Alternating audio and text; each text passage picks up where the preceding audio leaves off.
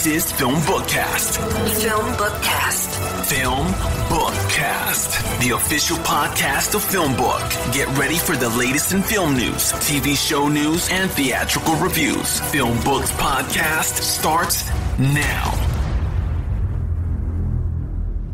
Hello, everyone, and welcome to Film Bookcast, the official podcast of Filmbook. My name is Chris Banks. If you're tuning in for the first time, what I do on Filmbookcast, I discuss the latest film and TV show news. I also review an in-theater film. You can find more about Filmbookcast on film-book.com by using the search term Filmbookcast. You can also email us at podcast at film-book.com with Filmbookcast in the subject line. Now let's head on over to some TV news from this week. Some exciting TV news for Star Wars fans. Mary Elizabeth Winstead is joining the upcoming Star Wars series on Disney Plus, centered on Rosario Dawson's ex Jedi. We learned this week. Along with Winstead and Dawson, the series titled Ahsoka is bringing back Hayden Christensen's Anakin Skywalker Darth Vader. Christensen is also returning for the upcoming Obi Wan Kenobi series opposite Ewan McGregor. Plot details for Ahsoka are being kept under wraps, but the series will be set within the timeline of The Mandalorian, whose first season took place five years after the return of the Jedi. Exciting news for Disney and Star Wars fans. Some more TV news from this week. Apple TV is really expanding its offerings. It's completely revolutionized itself in the few years of its existence. This week, a massive deal was signed with Legendary's Monsterverse and Apple TV. They've ordered a new live action series featured Godzilla and the Titans. Following the thunderous battle between Godzilla and the Titans that leveled San Francisco and the shocking new reality that monsters are real, the Untitled series explores one family's journey to uncover its buried secrets and a legacy linking them to the secret organization known as Monarch. The series is going to be produced by Legendary Television but there's no word yet about when this series will debut. We'll keep up with news about this as I'm sure the trailer is going to be insane. Exciting news for Apple TV Plus fans. Wrapping up the week in TV news, Umbrella Academy Season 3 casts Euphoria's Javon Walton. He'll play a member of the Sparrow Academy. It's currently unknown what character he'll be playing, superpowered or otherwise, but he will certainly find himself an entirely different universe in the Umbrella Academy relative to his character in Euphoria. That's it for TV news.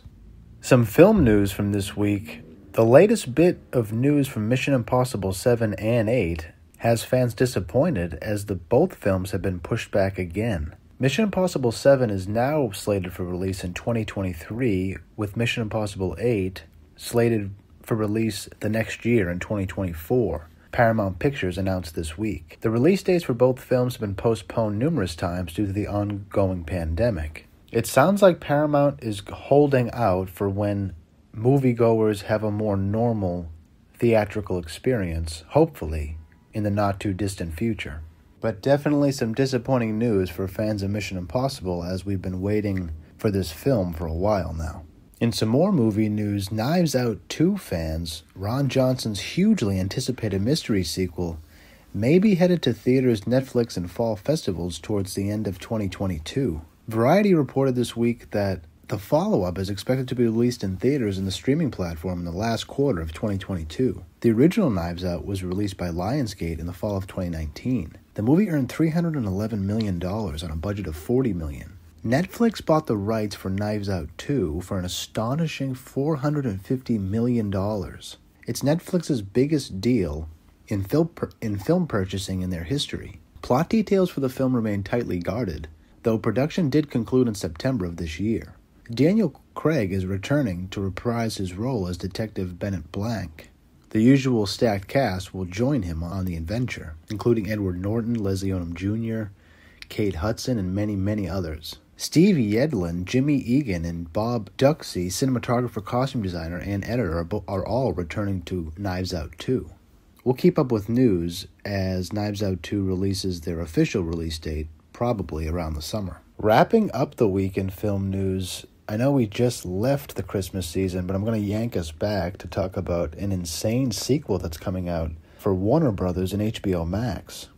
The film is titled A Christmas Story Christmas. Fans of TNT or TBS's A Christmas Story Marathon on Christmas Day will be excited as the sequel is going to take place in the 1970s, 30 years after the original film was set in the 1940s. Adult Ralphie, played by the original child star Peter Billingsley, is going to be an adult and bringing his own kids back home to live in the Cleveland Street house that his parents made famous in the original Christmas story.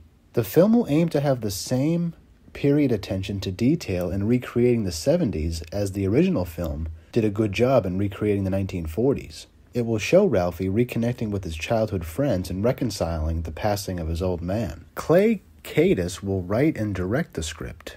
No word yet on when the film will debut, but I'm sure it'll be at least by next Christmas season, not this one coming up, but very exciting news for fans of A Christmas Story.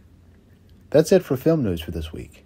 This week in home releases sees a slew of really exciting and popular titles. The first, Escape, The Wheel of Fortune and Fantasy, an unexpected love triangle of failed seduction and a chance encounter with the past.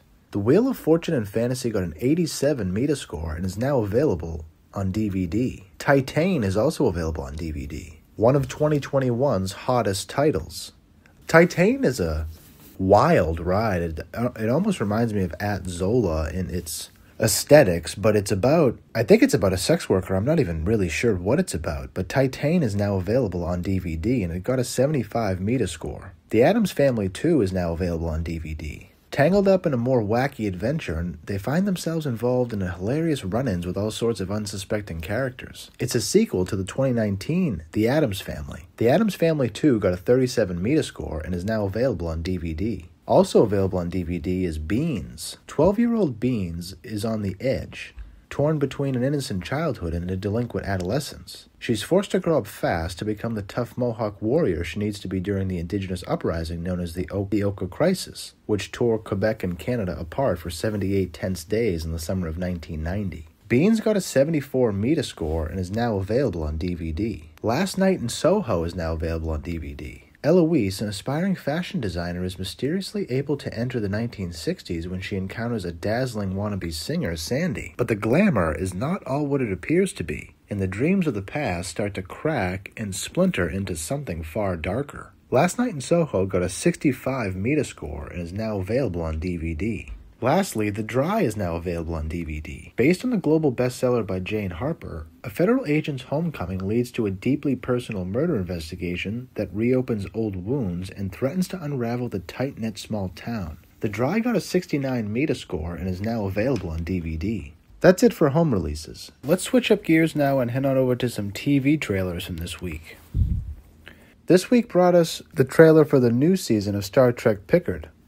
It'll debut February 3rd. Fans of the show will be surprised as Whoopi Goldberg is back. Check out the newest trailer for Star, for Star Trek Picard. It'll debut on Paramount Plus. Whoopi Goldberg is returning to the Star Trek universe in season 2 of Paramount Plus's Picard, reprising the role of Guinan in multiple episodes. We'll keep up with news as Star We'll keep up with news as the new season of Star Trek Picard will debut February 3rd, I believe. Another TV trailer that debuted this week is Marvel's most watched trailer in the history of Marvel. The TV show is called is titled Moon Knight. It stars Oscar Isaac and Ethan Hawke. It looks absolutely amazing. Check out the trailer for Moon Knight. The last TV trailer we'll check out this week comes to us from Amazon Prime, and it's the Lord of the Rings TV series. It's called The Rings of Power, and it'll debut on Amazon Prime September 2nd of this year. It takes place during the fabled Second Age, thousands of years prior to the events of both Lord of the Rings and The Hobbit. It'll take viewers back into an era in which great powers were forged, kingdoms rose to glory and fell to ruin. Unlikely heroes were tested, hope hung by the finest of threads, and the greatest villain that ever flowed from Tolkien's pen threatened to cover all the world in darkness. The trailer doesn't really show us much, but it definitely builds hype and suspense for a show that is rumored to cost upwards of a billion dollars. Check out the trailer for The Lord of the Rings, The Rings of Power. We'll, we'll see it on Amazon Prime September 2nd. That's it for TV trailers.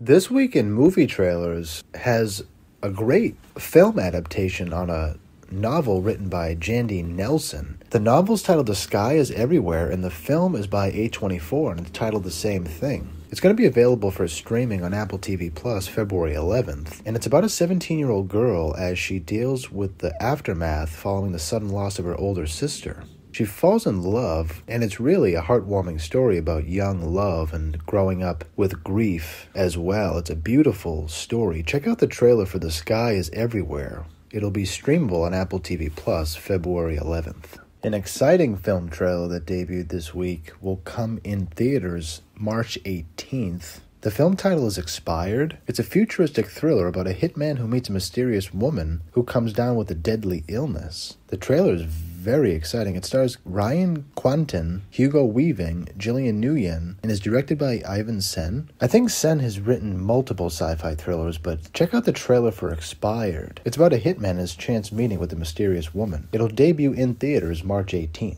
The last film trailer we'll talk about this week is a pretty sick uh, concept, but it's actually also beautiful. The title is Moon Manor. Sometimes learning how to live is learning how to die. I guess the makers of Moon Manor give us a synopsis that on his last day alive, Jimmy will show his estranged brother, Salt of an Earth caretaker, sharp witted death doula, and a novice obituary writer that sometimes the art of living just might be the art of dying. Moon Manor is an exploration of what it means to have a good death, and it's inspired by the life stories of 84 year old lead actor James Caruso. Moon Manor will debut in theaters March 11th. Check out the trailer. That's it for movie trailers.